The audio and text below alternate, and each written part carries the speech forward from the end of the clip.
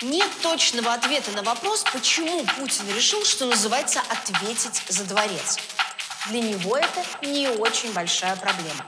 Автор фильма в тюрьме, мяч на стороне президентской силовой команды. Помощники уговорили царь и согласился.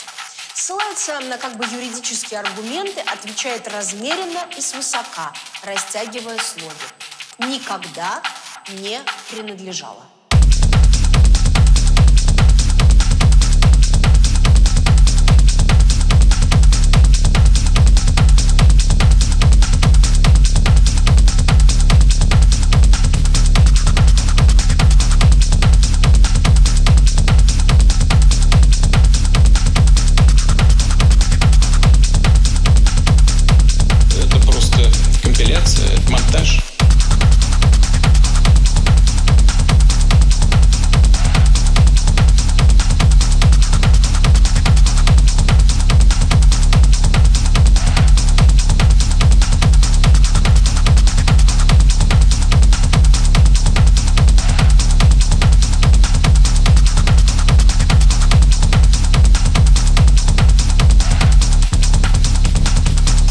Смотрел этого фильма, просто за отсутствием свободного времени для просмотра такой, такой информации. Но сразу хочу ответить на ваш вопрос.